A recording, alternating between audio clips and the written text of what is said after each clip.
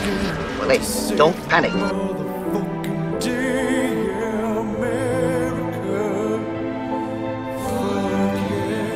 Looks like I picked the wrong week to quit amphetamines.